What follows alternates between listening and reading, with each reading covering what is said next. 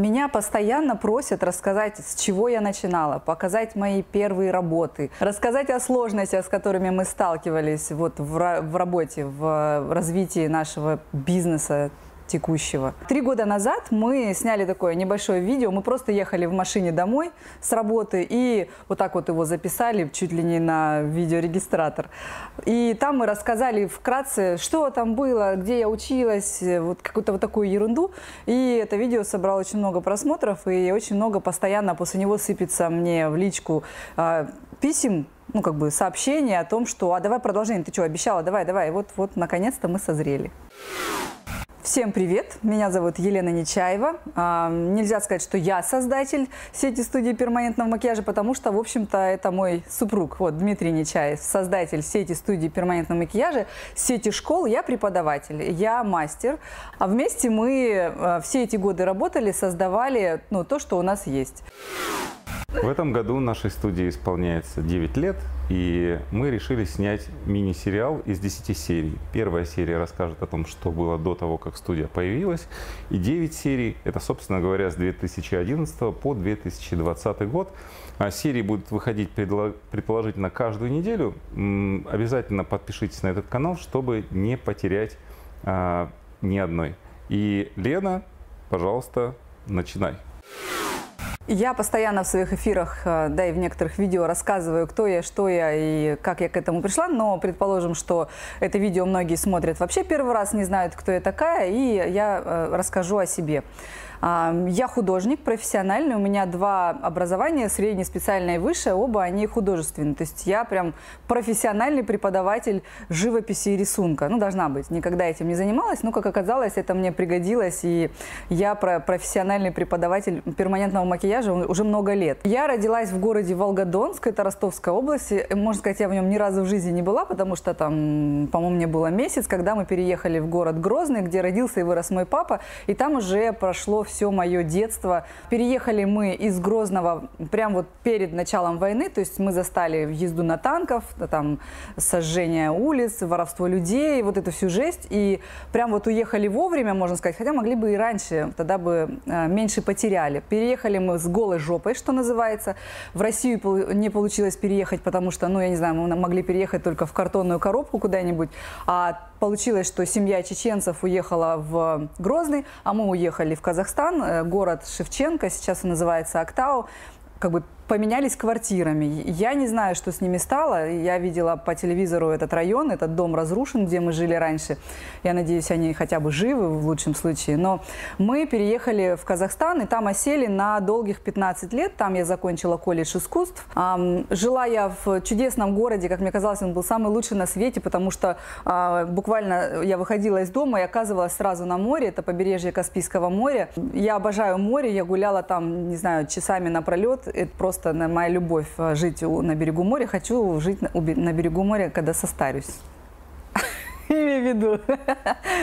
Короче, а, я закончила школу, поступила в колледж, в колледж искусств на бюджет, поступала два года в него. Не потому что я бездарь, я была лучшей на курсе, а потому что, как мне сказали мои преподаватели, мы должны нести культуру в степь. И сказали, пошла вон, не прошла. И, а, как оказалось, на первом курсе, на который я поступала и не поступила, а, зато поступила сразу два сына моего преподавателя по живописи так вот подвинули. А, это была такая большая травма. Целый год я работала, работала в медсанчасти санитаркой, короче, драила полы. Это был какой-то ужасный период в моей жизни. Я видела, это было, это было кардиологическое отделение, и я видела очень много смертей, казалось бы, да, но человек, который боится призраков, зомби и всего прочего, а, за этот год, что я работала вот в этом отделении, я дошла до того, что могла лечь спать под утро в палате, где только что умер человек, его отвезли в морг, и я ложилась спать, потому что я, наверное, это защитная какая-то реакция, наверное, была. Там умерло несколько людей, с которыми я очень подружилась, это были а, ну, такие возрастные пенсионеры, можно сказать, они таскали мне книжки. Просто дело в том, что люди лежали месяцами реально. То есть они лежали там по 2, 3, 4, 5 недель, потом выписывались, через неделю возвращались снова в это отделение. И мы дружили, потому что я была такая хорошенькая маленькая девочка, которая там драила полы. Они все ко мне очень хорошо относились, пророчили великое будущее. Я думала, где оно, что оно. И тогда я мечтала быть врачом. Это моя такая голубая мечта которая не осуществилась. Я пересмотрела все на свете медицинские сериалы. Когда ночью плохо моему ребенку или у мужа болит голова, он мне говорит, что мне выпить? Я такая вспоминаю, короче, лечу всех как могу по сериалам. Короче, знаете как, на врача мне поступить было не суждено, потому что именно в год, когда я закончила школу, а, нам объявили всем, что больше бесплатного образования нету. А так как мы были крайне нищая семья с тремя детьми, беженцы вот из Грозного, у которых просто, не знаю, по несколько дней нечего было дома есть, в колледже искусств это чуть ли не, единственный, э, не единственное учебное заведение в, ну, в городе, потому что город небольшой, там 200 тысяч, по-моему, населения. Это был единственный колледж, в который можно было поступить бесплатно. А так как я всегда рисовала хорошо, у меня просто не было никаких других возможностей. Все остальное было платно. На врача это было платно настолько много и дорого, что ну, я даже не мечтала туда поступить, потому что ну, не было таких денег у семьи, а работая санитаркой, почему-то в какой-то момент я думала, что если я мою полы, то мне какие-то льготы дойдут при поступлении. Что-то мне кто-то начесал, я поверила. Наверное, это было просто, блин, маленькая, дурная. Короче, я поступила на бюджетное отделение. Естественно, я продолжила работать, потому что краски кисточки. Я не знаю, если кто-то среди вас есть художник, то вы понимаете, насколько дорого учиться в отделении живопись, потому что краски, холсты, кисточки, это все стоило очень дорого, нам ничего этого никто не давал. Но из нашего курса я была самая обеспеченная кисточками, я покупала себе самые дорогие кисточки, у меня были самые полные палитры красок. Ну, для этого я работала по ночам. Начала работать официанткой, барменом. Шлюхой.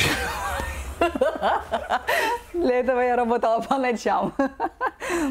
Я работала официанткой, у меня, не знаю, лопались пятки от того, что я так много бегала, там, чтобы много, больше заработать. А, я еще умудрялась ходить на дискотеки. Короче, где это время, когда сон вообще, в принципе, ненужная вещь. То есть весь день я очно училась, по 8 часов у нас пары были, мы рисовали. Потом я пару часов спала, шла а, на работу, работала часов до трех-четырех ночи, до 6 утра я плясала, потом я приходила еще час-два спала. Короче, вот такая у меня была очень насыщенная, бессонная, э, нескольколетняя жизнь. Я закончила отделение свое, одно из лучших на курсе, ну, я действительно очень хорошо рисовала. Я понимаю, что вот эта бесконечная практика, я тогда еще это поняла, сейчас я это говорю своим студентам, просто бесконечная практика, она приведет вас к вершинам мастерства. Последний раз я брала в руки кисточку и рисовала портрет, э, наверное, даже не 9, а 10 лет назад, перед тем, как я начала работать мастером перманентного макияжа. Я полностью забросила это дело, и сейчас, мне кажется, я уже даже и не художник, но зато я брови рисую хорошо. Портрет не нарисую, брови нарисую хорошо на нем. Вот. Окончание моего обучения ждал мой папа, который э, все потерял в Грозном, потом боялся все потерять, вообще остаться с голой жопой в Казахстане, потому что там начались такие вот, э, знаете, вол... не волнения, а какие-то настроения, вы русские валите к себе, там вот, вот это вот. Не все, конечно, потому что у меня остались друзья казахи, с которыми я до сих пор дружу и общаюсь, но было много случаев, когда ты прям чувствовал, что ты вообще не у себя дома находишься. И мой папа ждал, когда я закончу обучение, чтобы собраться и свалить в Россию. Я поступила учиться в Ставрополь, и мое высшее образование я э, закончила э, в Ставрополе. А с Димой мы познакомились в 2005 году. И что там, а как это было-то? Ну, давайте, давайте, давайте я расскажу о себе, прежде чем к интимным подробностям знакомства. А, меня зовут Дмитрий Нечаев. Если что, для тех, кто не знал, ее фамилия девичья Целикина. Ее обзывали целкой в детстве, ну все как положено злым детям. А благородную фамилию Нечаев она взяла, э, надавив на меня и женив на себе, можно так сказать. И мы об этом расскажем позже. Пока что я немного расскажу о себе, не так пространно, потому что я ценю ваше время. А, на данный момент, сейчас 2020 год, мне 39 лет. А, я жил и родился в городе Невиномыск, и 15 лет назад переехал вместе с ней в Краснодар. По специальности я инженер, я закончил энергетический техникум и потом учился в политехе Ставропольском. Я очно обучался и, и я теоретически могу работать инженером на электрических станциях, все чинить там, настраивать, быть электромонтером. В общем, нужный человек в случае, если что-то пойдет не так. В татуаже, я думаю, на электростанциях меня приберут к рукам.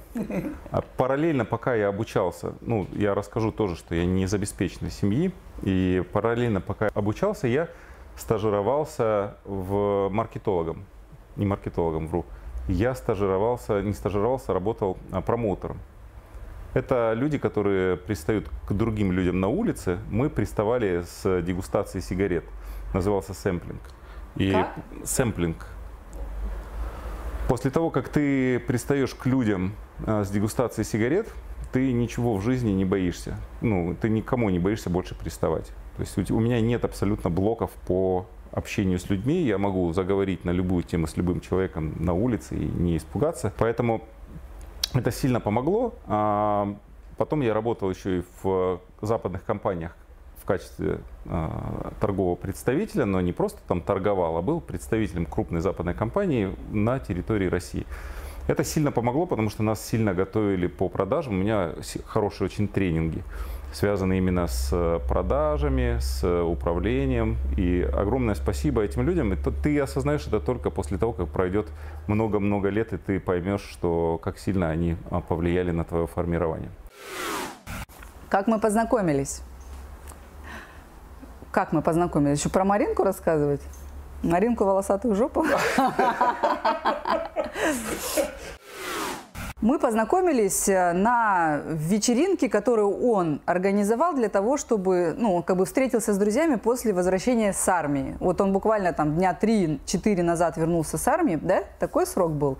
И а я, получается, напросилась со своей подружкой пойти просто, мне было нечего делать, и все. Вот мы пошли. А он мне не понравился вообще, я ему, по-моему, тоже не понравилась, да, вообще. Единственное, я у него увидела книжки писателя, которого я люблю очень сильно, Валентин Пикули. Эти книжки, как раз там парочка, я их их не читала, я сразу у него их э, прихватизировала.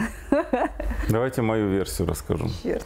Вечеринка, как все звучит, как будто там Короче, Вечеринка, как... я возвращаюсь из армии, у меня на правой ноге правый, прав, правый палец у меня сломан. Это армейская травма. И оказывается, в армии все застрахованы.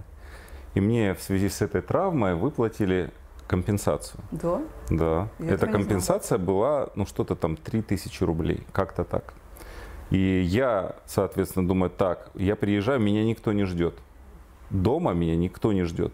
Мама ушла к другому мужчине, папа алкоголик. То есть я приезжаю в никуда. У меня есть 3000 рублей. Думаю, так, но я так мечтал об этом. Я, наверное, а, оставлю денег на подарок маме, на подарок своей тетке, которую очень люблю. И на оставшиеся гульнем. Гульнем имеется в виду, придем в кафе, обычный летник – и куплю там по бутылочке пива, мы посидим с друзьями, и я показываю им фотографии а, из своей армейской юности. Я это помню, такой, думаю, достает вот такую пачку фоток. Я думаю, их смотреть надо. Тогда не было Инстаграма. Come on. И реально так по кругу начинает передавать и рассказывать каждому, а это то-то, то-то. Я такая, может, до меня этот круг не дойдет. Дошел, надо было смотреть. Вот, это девка, по-другому ее назвать не могу. У нее была вот такая большая жопа, и она очень жутко э, нравилась себе. При этом я смотрел на нее и понимал, come on, не. Она, она увидела мои книжки, взяла их, причем я, они были в пакете. Я иду, она говорит, о, а что у тебя в пакете? То есть она была такая быдловатая, мадам. Я думаю, ну ладно, что там, книжки, думаю, ее это точно не интересует. О, книжки, дай почитать. Что-то какое-то, ну ладно, ну на. Тут, типа, ты умеешь? Ну, на, читай. А, она взяла эти книжки, но при этом в, на этом летнике она пила за троих просто. То есть сидела три мужика, и она пила больше нас, потому что пила на халяву. А вы что, вы понимали? Официантка приносит новое пиво, а у меня деньги тают, у меня денег нет совсем. Думаю, вот, блин, нахер она нужна? Думаю, вот, блин, пригласили. Она напросилась сама. Ладно, я не помню, то ли у меня кончились деньги, то ли кафе закрывалось. В итоге мы идем домой и друг друга, ну, знаете, так, ну, Подкалываем. Подкалываем, прикалываем и в таком ключе, что все, мы уже посрались, мы категорически друг другу не нравимся. И если бы ей кто-то сказал, что этот чувак станет ее мужем и отцом ее двоих детей, и ну, трех собак, бы, и трех собак, она бы точно не поверила. И я ты помню, бы не поверил. Да, я помню момент, когда мы идем, и что меня, меня в ней поразило. Она идет и говорит, я говорю, да все вы понтуетесь, девчонки. Она говорит, да вообще не набивайте себе цену. Она говорит, я вообще цену себе набиваю. Короче, мы в тот вечер посрались, можно сказать. Он мне вообще не понравился. Я забрала его книжки. Возвращать их я не собиралась. Но через несколько дней он мне начал названивать, узнал мой номер через там вот этих всех друзей. Начал названивать, спрашивать, когда книжки мне вернешь? Такая думаю, фотографии смотрела, еще и книжки вернуть. У меня целая библиотека была из таких книжек, которые я брала и не возвращала. Грешна. Но у меня вариантов не было, потому что я книжки очень люблю, и я за них боролся бы до конца. Вот думаю, сволочь, теря... она не терялась от меня, но брала труп. В итоге рано или поздно я сказал, давай, отдавай. Она сказала, хорошо, я гуляю с собакой, приходи и забери.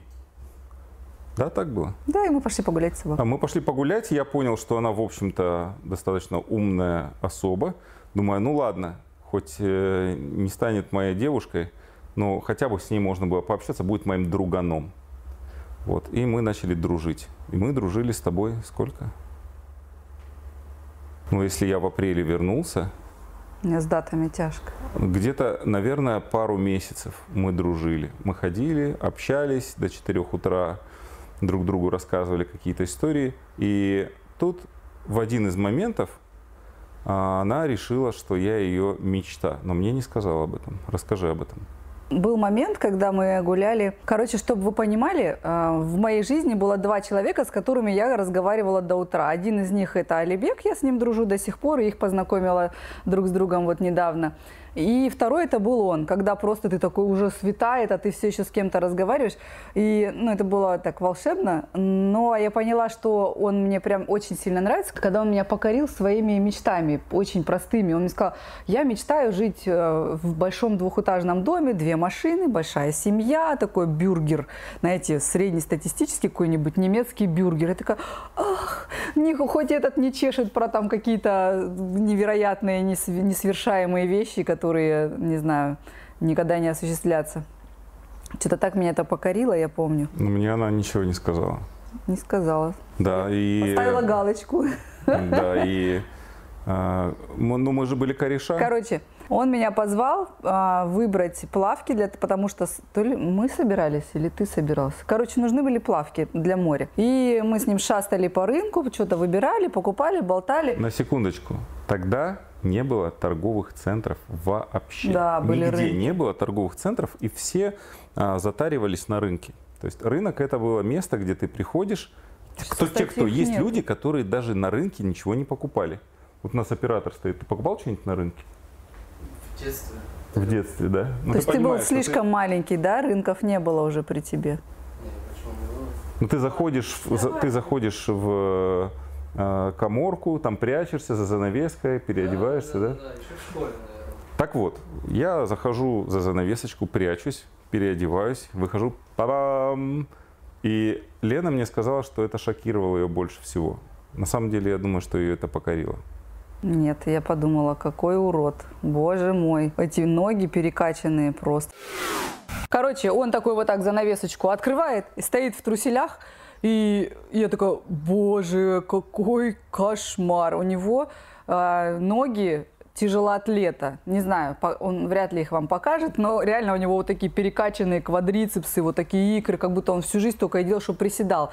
И мы, его, все мои подружки, там, мои тренера ему завидуют, потому что у него ноги, как будто вот он прям вот сушился, качался, сушился и сейчас выступать пойдет. А верх обычный сухой был верх, короче, такой дисбаланс был. Очень, ну, пресс квадратиками, все сухой верх и вот такие вот безумные ноги, как у лягушки. Такая, Боже, вот, боже мой, смотрите. И в этот же момент на него смотрела продавщица в этом магазине с восторгом. Это же она была. В этот момент, да, в этот момент, а продавщица шикарная очень пухлые чувственные губы, прекрасная грудь. Я понимаю, что я... А я после армии, на секундочку. То есть все это время у меня девушки нет. Естественно, я такой, хорошо, назначаю свидание продавщице. Я и... ему даже, по-моему, помогала, там, телефон как взять, что-то там. Ну да, это же мой дружбан. Я была дружбан. Как дела? Открылась. Ты что, дружбан, удар надо держать? Ха!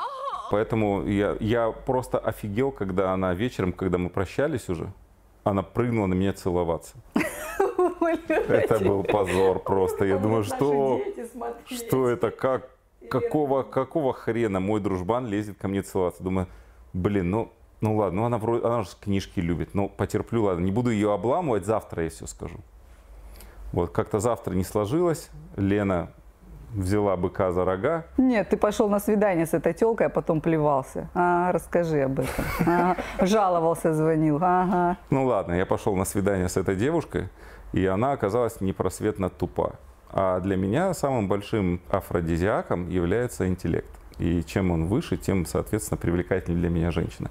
Бесспорно, внешние данные тоже важны, но для продолжения общения только интеллект. Итак, девушка, если твой интеллект выше 130, пиши мне в личку.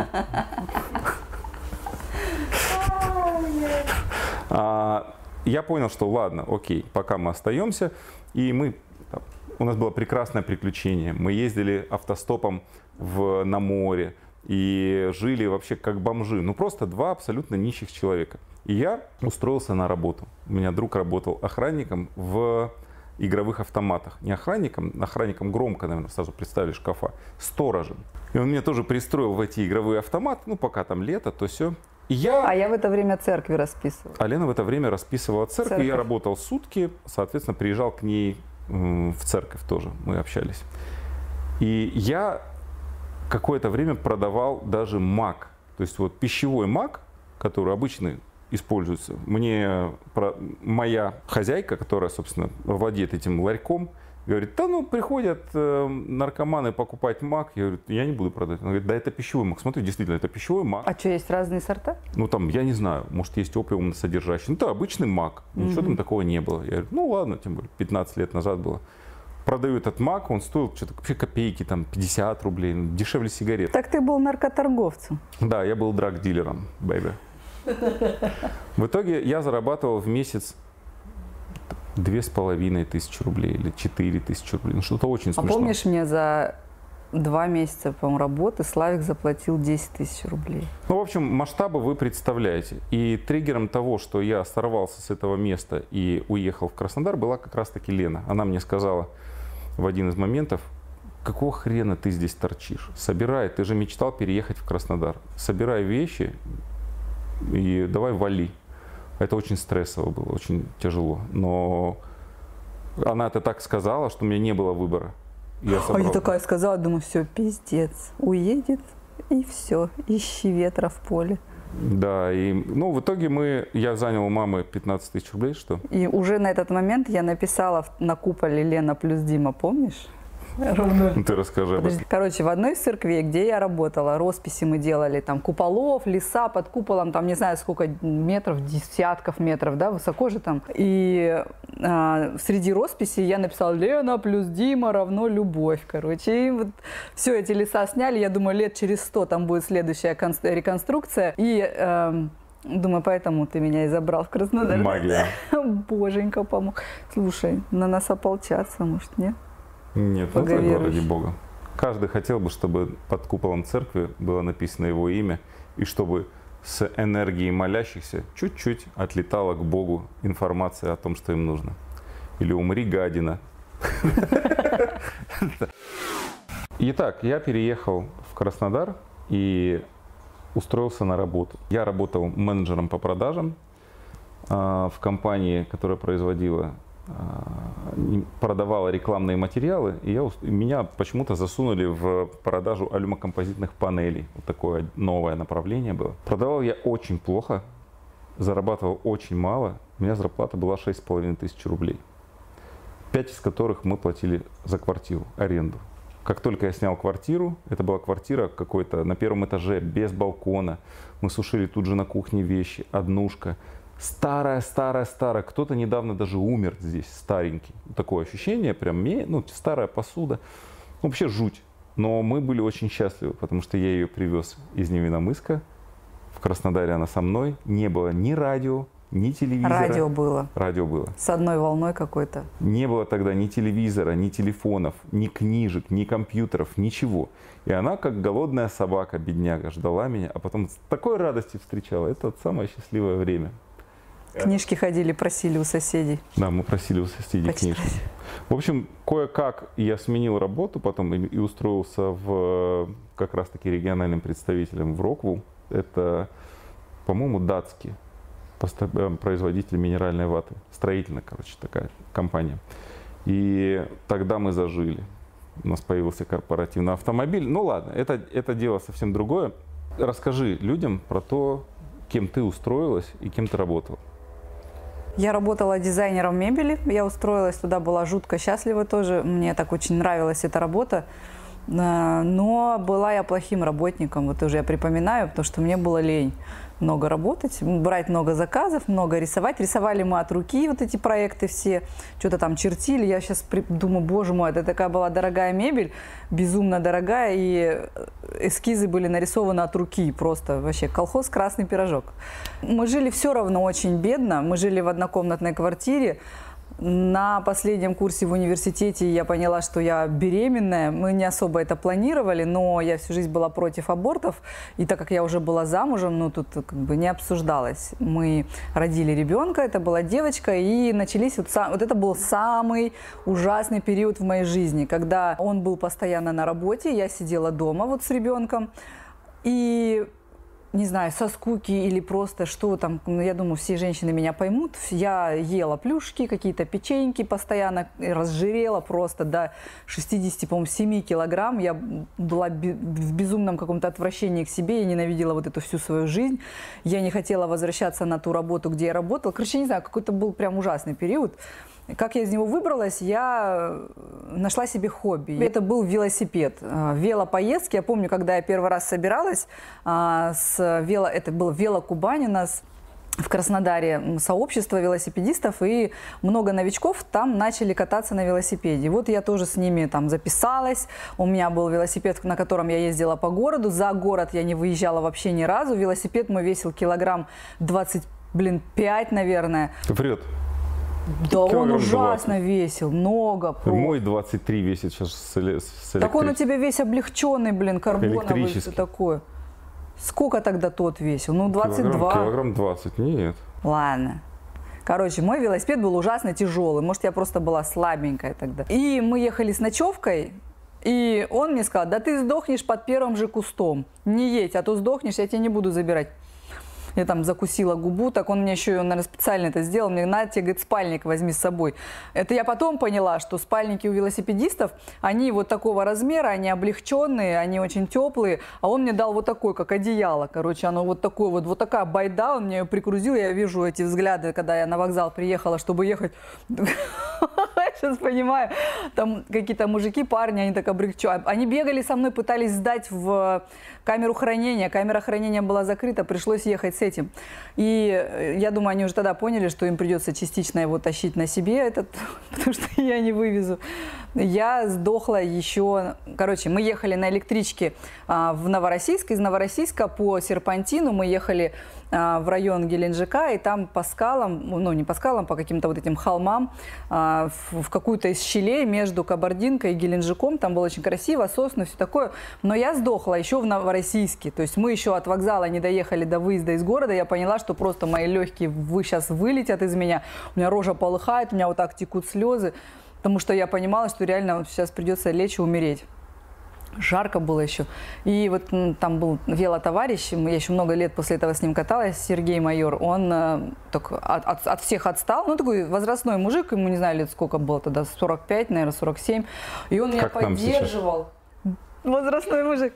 Он меня поддерживал, он со мной разговаривал. У меня прошла вот эта вот истерика, паника, я выдохнула. Он мне начал рассказывать, как правильно крутить, потому что я не умела скорости переключать. Короче, это был фейл просто вообще. А мы каким-то образом доехали. Я была самый счастливый человек на свете, когда вот это место стоянки, мы купаемся ночью в море, вот это все вот уже, весь ужас этого дня с меня смылся. И я поняла, что я влюблена просто в велосипед. Я хочу ездить, я хочу ездить так же, как эти люди, которые едут вот по такой стене вверх. Я там иду, велосипед тащу следом за собой. Причем мои уже разобрали все спальники, какие-то люди, тащат их на себе, потому что иначе там меня бы пришлось тащить. Вот, и я подсела, я заболела, я стала очень много кататься по городу, за городом, во все поездки ездить. Дошла до маразма, когда у меня уже жопа втянулась, я настолько похудела, что у меня были только вот эти квадрицепсы, не было жопы, потому что я высохла, да, помнишь, сколько я весила, не знаю, килограмм 50, наверное. Вот такие вот ручки у меня были, и мы ездили по 200 километров по пересеченке, там, из Краснодара на море, через вот горы, или там мы ездили в Архыз на велосипедах из э, Пятигорска, короче, ну, какие-то невероятные расстояния, сейчас я уже так, конечно, не проеду, но тогда я была в полном восторге от себя и от своих умений, короче, как я умею классно в любую гору въезжать, сколько десятков километров в день проехать. Вот хобби меня вытащило вот из этой жопы, из этой депрессухи а, сиденья дома. Ну, а вот этот спальник огромный, он такой огромный, потому что я увлекался тогда а, ловлей карпа. Это особая секта, где люди ловят большого трофейного карпа и отпускают его. Она очень элитная, дорогая, но я познакомился с карповой ловлей в Краснодаре уже и познакомился с человеком, который, благодаря которому ничего не было бы, тоже в Краснодаре. Этот, этого человека зовут э, Сергей Маляров. Сергей, если ты смотришь, привет тебе. Он э, живет в Ростове, и он мне говорит, Дима, у тебя же жена художник? Я говорю, да. Короче, есть тема. У нас есть я, может быть, сейчас привру что-нибудь, но, в общем, смысл такой, что у нас есть а, кабинет-офис, а рядом мужик делает брови. И он себе за год купил Porsche Cayenne и строит сейчас в пригороде Ростова коттедж. Я говорю, что, что за брови? Говорит, ну татуаж, он делает татуировки на лице женщинам. И на этом зарабатывает вообще бабло. Я говорю, ну как-то ну ладно, окей, может быть. Но сразу я не, не, не поверил, потому что у меня, как у всех остальных, было а, заблуждение, что если что-то приносит деньги, значит там уже делать нечего. Там все уже занято. А мы начали считать, там есть разные варианты было обучения без... Э, Нет, я помню, как ты мне сказал об этом. Да, и как я отмела да. это дело. Он мне, он мне примерно так же пришел, рассказал эту историю, и я вот так вот сразу сказала, нет, я не буду это делать. Еще не поняв даже о чем, да я думала, что это что-то вот маникюр, вот из той же оперы. Сказала, нет. Он мне сказал, да ты сначала, прежде чем говорить нет, ну покопайся, посмотри, поизучай. Я засела искать информацию, форумы лопатить, везде зарегистрировалась, все, что можно, прочитала. И поняла, что это вообще совсем не маникюр, педикюр, а что-то более глубокое, интересное и действительно более сложное. И мои художественные навыки там и пригодились. То есть меня прям заинтересовало. Вот даже вот когда просто на моменте чтения форумов. Их было два. Тату-артист и ПМ-форум на тот момент. Это все, что было.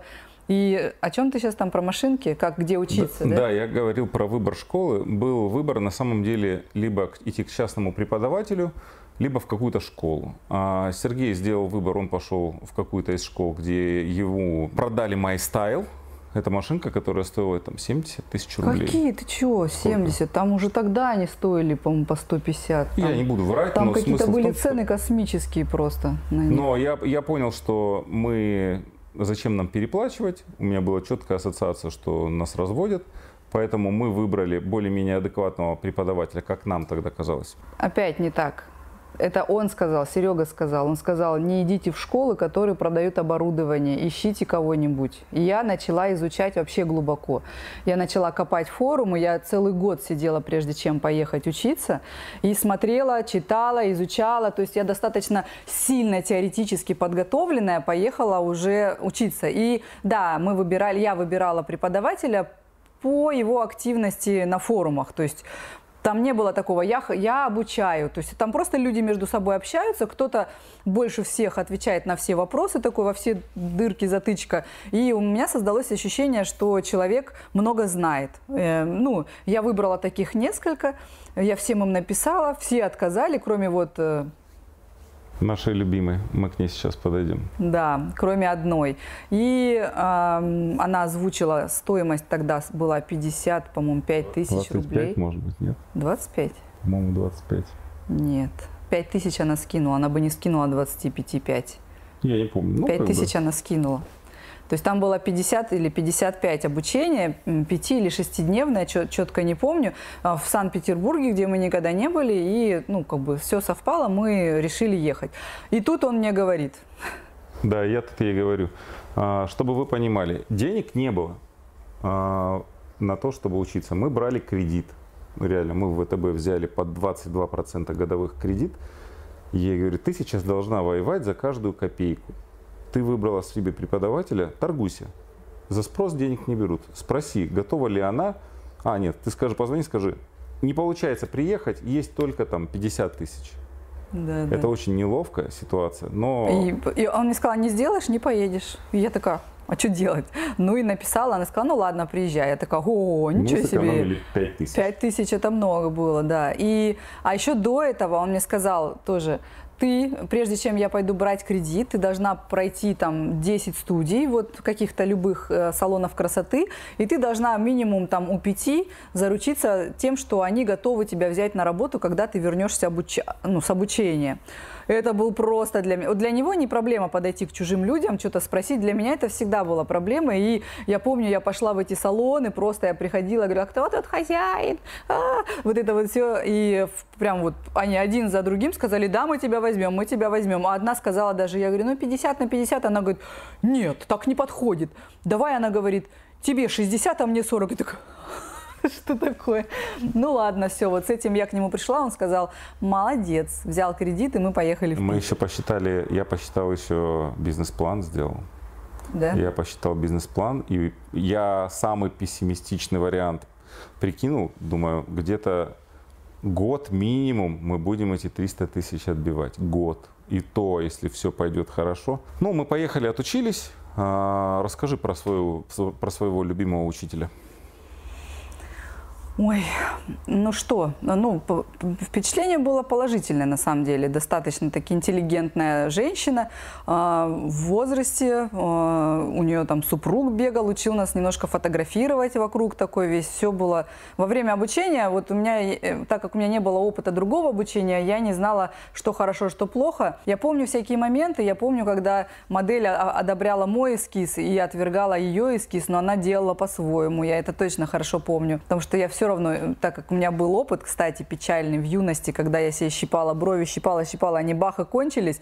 И тогда я поняла, у меня три волосинки.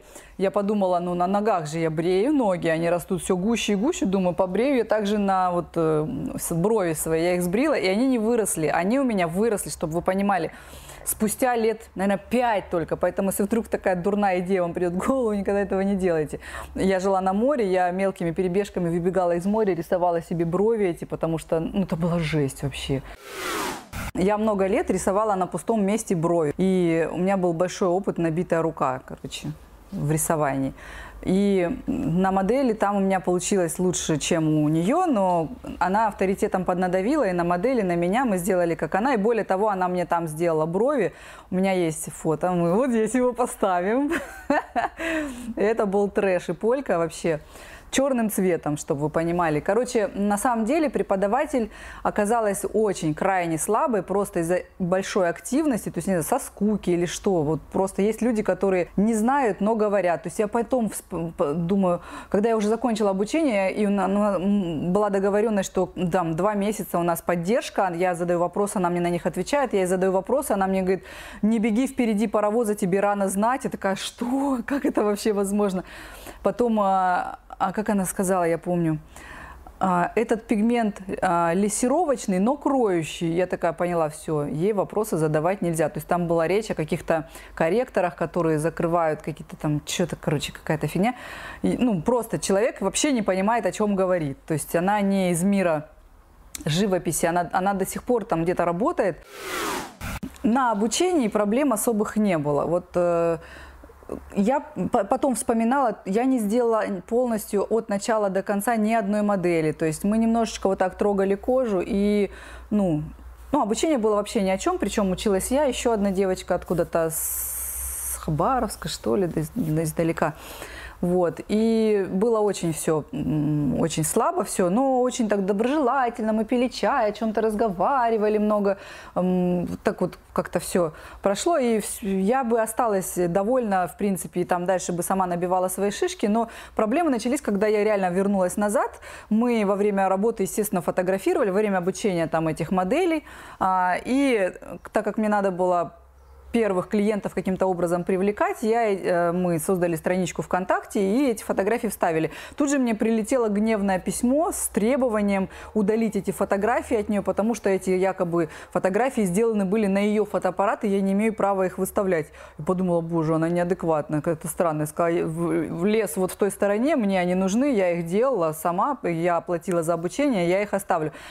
Более того, они были настолько трешовые, что я их удалила прям буквально потом сразу, как только свои у меня завелись фотографии. Но я такая, думаю, первый звоночек ненормальный. Потом были вот эти какие-то невнятные объяснения, когда она мне сказала, не беги впереди паровоза, я такая, все, нахрен, я больше не хочу с ней вообще ничего иметь. А он любит помогать людям. Вот у него есть эта черта, нате, нате вам мою помощь. То есть э, это преподаватель, ее зовут